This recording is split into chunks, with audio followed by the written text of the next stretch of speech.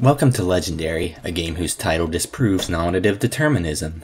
It was developed by Spark Unlimited, a studio known for their terminal case of mediocrity. Still, Legendary is one of the better games of their lineup.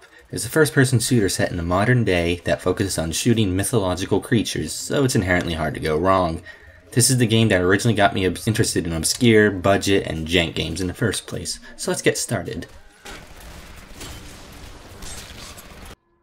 The game starts off with our protagonist, named Deckard of all names, uh, unintentionally starting off the apocalypse by quite literally opening Pandora's box. What exactly did he think was gonna happen? Well, for a while, you get to casually stroll around as the apocalypse happens around you. This intro is actually quite well done, though there isn't too much danger to the player in it. it has some pretty good spectacle factor, and I quite like that. It's really highly scripted, more of an interactive cutscene than an actual gameplay segment, you can get bitten by these griffins, but it's not a big deal. Happens every day on your day to work in this world, I guess. A little bit into this intro, you get a fire axe, allowing you to live out your childhood dream of being a firefighter who fights griffins. It's actually a pretty decent melee weapon, being viable and useful throughout the whole game. You got some pretty good decapitations too.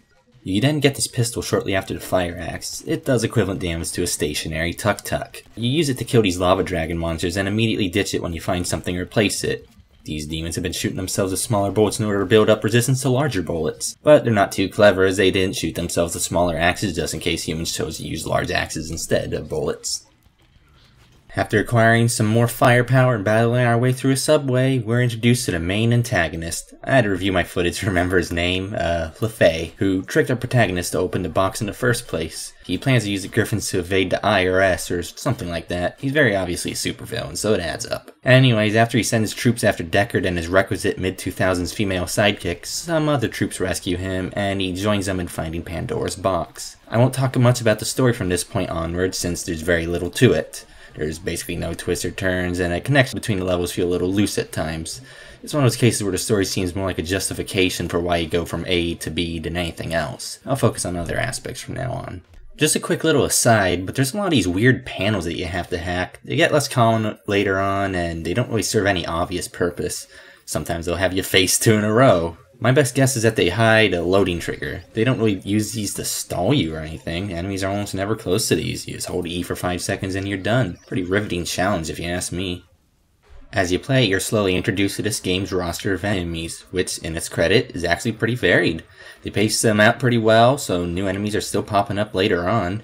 You may have guessed it, but they come from a variety of mythologies and not just Greek mythology. Never heard of some of these, so good on them for opting for a handful of more obscure monsters. What makes a roster so good is the fact that a lot of these enemies have little gimmicks to them to make them more interesting to fight. Werewolves need to be decapitated in order to stay dead. These little fairy things called Nari can possess objects and environment to attack you. They're invincible until they possess something, which for some reason makes them vulnerable to bullets. Well, later on you also get Minotaurs, which are exceptionally vulnerable to attacks from behind. Strangely, the game doesn't tell you this until after you've killed your first Minotaur, so... They all have unique introduction cutscenes to hype them up a little, which is a fun touch. Here's something fun. Just about all enemy types in this game will fight each other. There's no alliances here, just like the Wild West or maybe even modern day Texas. The developers have some fun with that in an optional area at one point where you can spawn a lot of standard enemy types and have them duke them out. It's a shame the game doesn't play with this idea more often. The worst part of this game's enemy design is hard to say. A lot of them can take a lot more punishment than Rasputin. The Griffin can take hundreds upon hundreds of LMG rounds to kill. It's just absurd. But then you have the human enemies. Naturally, this game needed hit scanning goons in it since it's a first person shooter made into double O's. They can shred you ridiculously quickly if they want to. There's also something slightly off about combat with them, but it's really hard to put a finger on it. I feel like there's a weird delay between your bullets hitting them and them reacting to it. Like there's some problem with the animations or the hit detection. It's just really unclear even from playing the game. You can try and judge from my footage, but you probably won't fare much better than I did.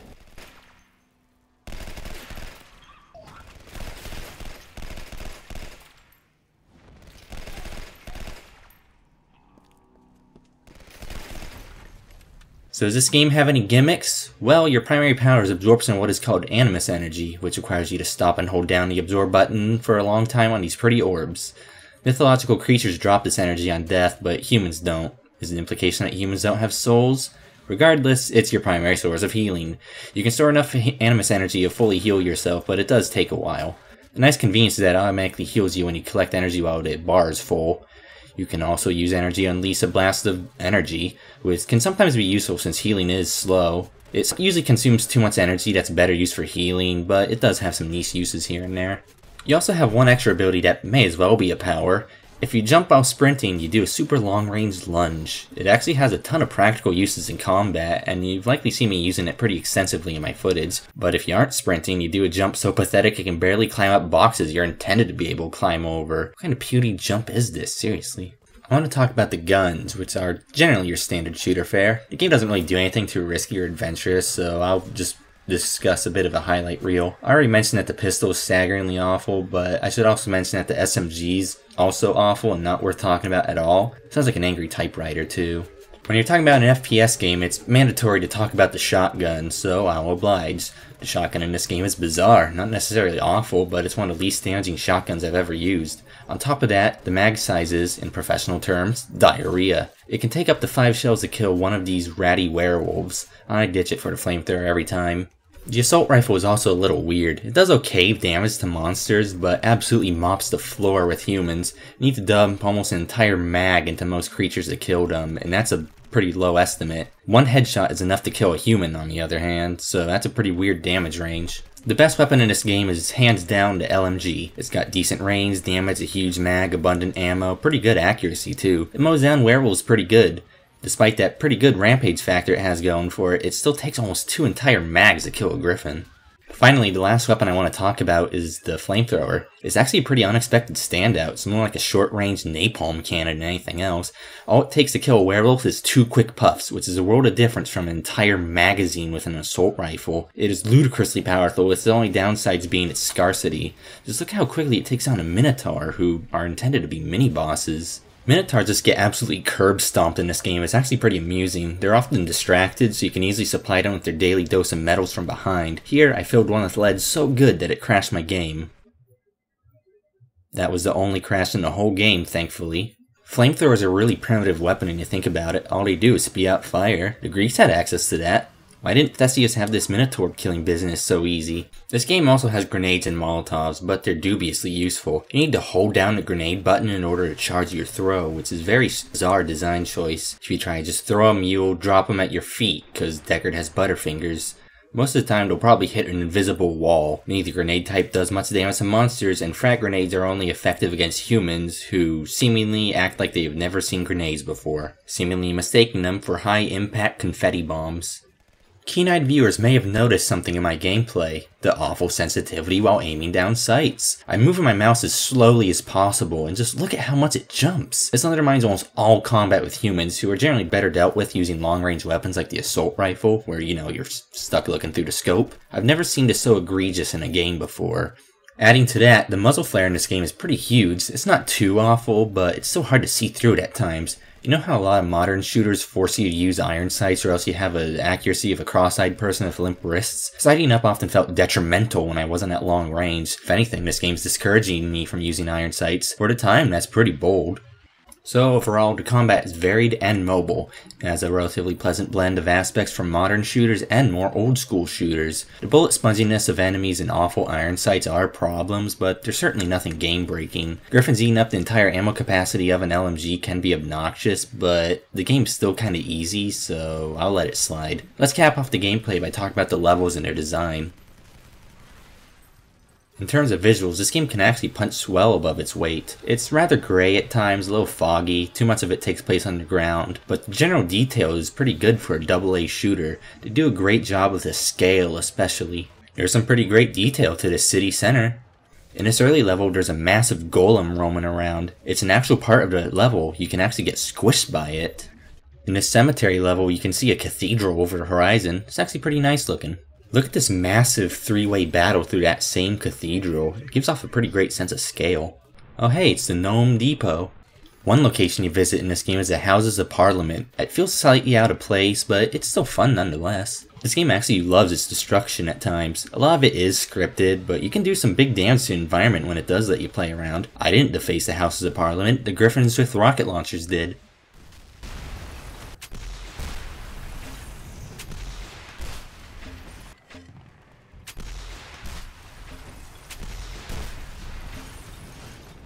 The level design itself is fine. It's generic or overly scripted at worst, above average at best. Don't be expecting anything particularly dynamic or a corridorous. Wow, I really wrote that.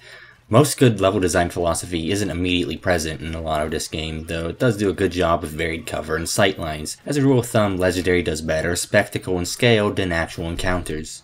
But this level design does commit a cardinal sin, and it's a bit of a pet peeve of mine. I don't know if there's a proper technical term for it, but I just call it awful environmental puzzles, AEPs for short. I'm coining that. AEPs are not hard because they're brain busting, they're hard because they expect you to make bizarre and unintuitive assumptions or observations, they usually fail to establish that they're even present, confusing players and maybe even making them think that they went the wrong way entirely. The garbage can puzzle early in the game is infamous, but I've definitely seen much worse. Thankfully, this pendulum swings the other way more often than not, where it'll blatantly highlight what you're supposed to shoot in glowing green. Gee, I wonder what I'm supposed to do here. I don't know.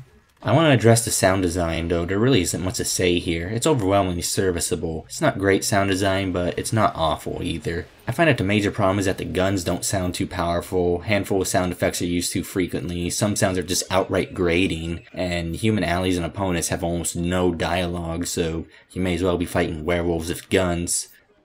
Oh yeah, I forgot to mention that you get some human allies now and then. They're not exactly useful. Yeah, just eat my rock at the back of your head, why don't you?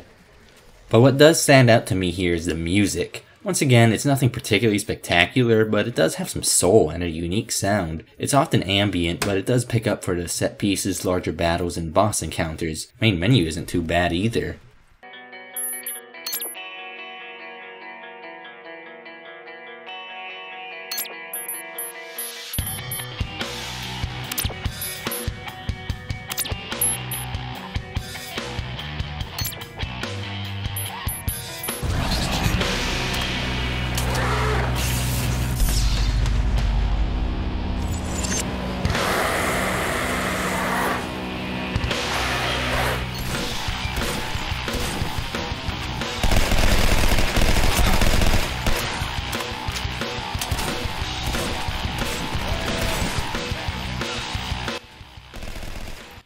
Most other games of this era would have settled on a serviceable but forgettable and subdued orchestral soundtrack, but this one went for metal.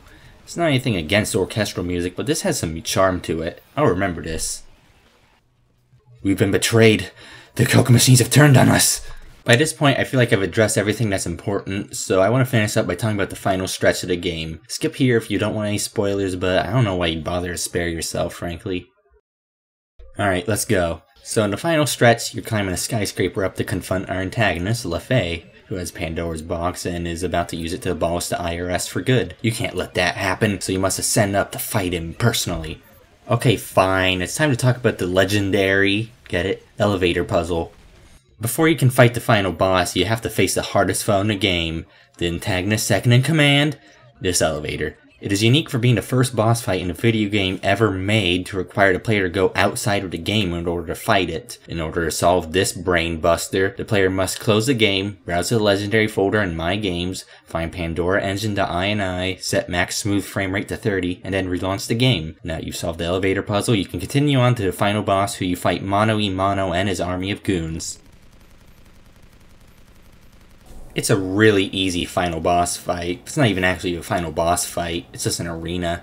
There's no music for most of it either, which is kind of lame. But thankfully, as compensation, you do get to see the antagonist die in the most slapstick way I've ever seen a villain die.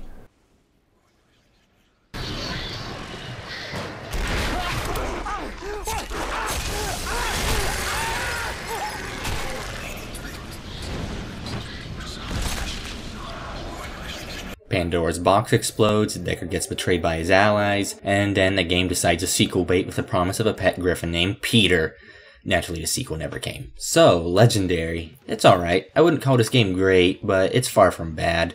It's probably a 6.5 out of 10 or so from me. It's nothing particularly special, but I liked it a lot more than I disliked it. It feels a tiny bit like a precursor to the modern Wolfenstein games that hybridize first-person shooter design philosophies from multiple eras.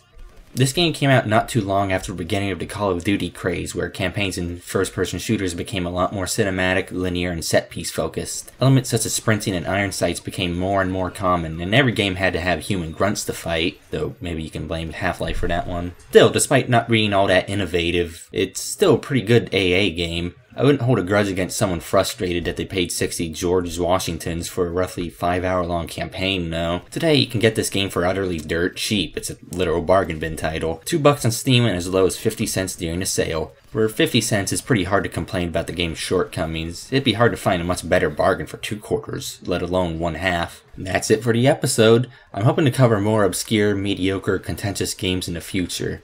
Tune in next time for whatever bizarre aberration of game design I'll decide to play next.